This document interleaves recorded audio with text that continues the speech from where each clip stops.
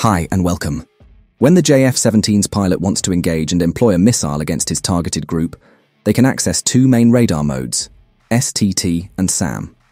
Heavily simplifying, hard lock and soft lock. STT stands for single target track.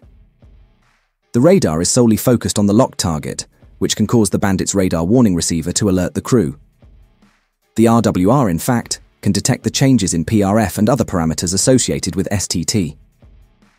The alternative is SAM, acronym for Situational Awareness Mode.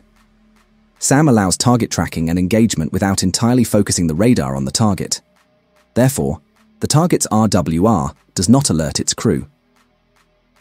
SAM is initiated from either range while search or track while scan by bugging a displayed contact. In other words, by selecting it with the cursor on the radar display.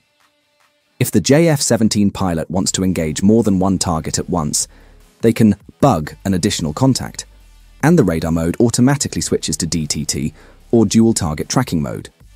Bugging further the primary target, the radar switches to the familiar single target track. In-game, STT. For decades, until the arrival of AESA radars, single target tracking was the most common means of engaging a target.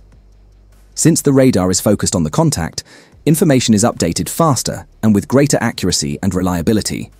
Note that the PRF cannot be changed once STT is established, so plan ahead. Unfortunately, STT is not common in DCS, and it is often avoided in favour of track while scan or equivalents or EODs such as IRST. Not only that, but locking an AI aircraft in STT causes it to react immediately by activating its ECM equipment. Moreover, there is an argument against the capability of certain RWRs to even detect CW or PDSTT tracking and missile guidance. The emphasis on stealth engagements in DCS, therefore, limits the depiction of STT. In-game, SAM.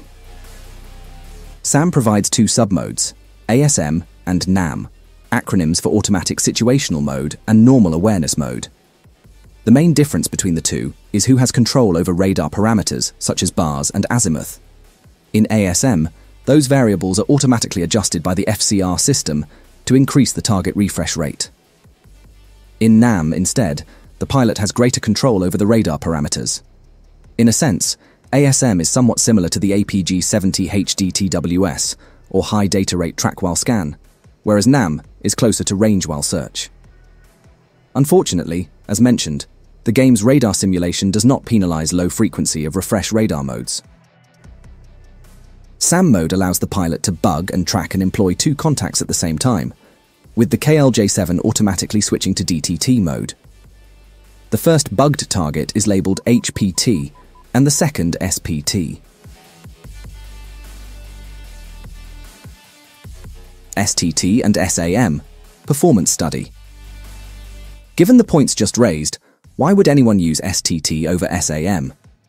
Simply put, STT is, in theory, more reliable and accurate, and therefore gives your missile the best chance to connect. To verify and quantify the advantage of STT versus SAM, I put together a simple test. A Tomcat is flying perpendicularly to the Thunder following a racetrack pattern. It starts from left to right and proceeds anti-clockwise. This means that the F-14 enters the main lobe clutter area, leaves it, and then proceeds to enter the zero Doppler interval. This is a tough situation for any radar, so let's see how they fare. This table shows how many times the lock was broken during the anti-clockwise pattern from left to right, and then right to left. Medium PRF offers solid performance no matter the mode used, whereas STT is slightly more reliable in high PRF. So, as long as the range and altitude allow MPRF, there is no reason not to use it. Medium pulse repetition frequency, in fact, is often considered an all-aspect radar mode, and it is more apt to track maneuvering targets. However, as discussed in the previous video, high PRF and medium PRF have different detection ranges. It is in the range interval between the two that opting for STT may improve the tracking of a target.